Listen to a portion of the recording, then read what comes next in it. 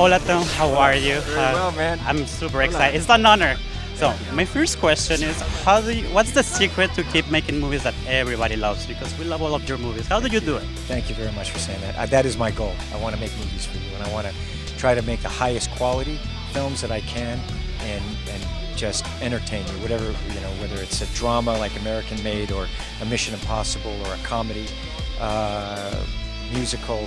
That's what I want to do. You know, because I'm I'm I'm also the audience. I want to be entertained. I want to I want to see a good movie, and I want to go and just feel like forget about everything and just just take me away and for a moment. And so that's that's what I want to do. And I just I'm I'm you know as people know I'm I work very hard to try to do that.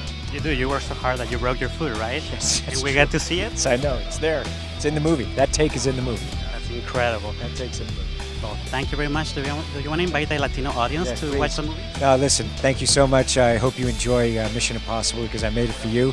So thank you. Thank you very, much. man. Thank you.